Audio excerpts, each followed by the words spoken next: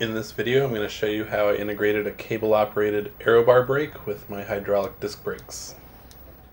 This is just a standard aero bar brake handle that's cable actuated.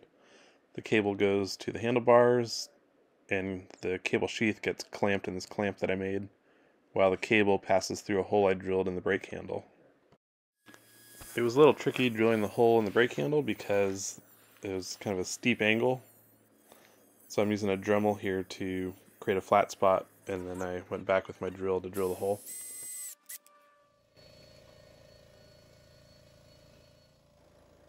The center of my hole is about 10 millimeters away from the edge of the bars, so when I make my cable retainer, I'll use those dimensions.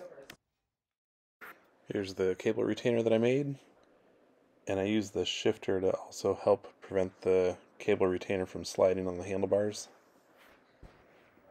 This is the clip I made that connects to the cable, which allows it to pull on the brake handle. The air brake handle goes together just as normal. These aero bars have internal cable routing, so I'm just feeding the cable sheath through and installing the cable. I have a cable adjuster installed on my cable clamp so I'm installing the cable through that, through the brake handle, and into this bracket that I made. I'm using a brass barrel clamp to cinch down the cable.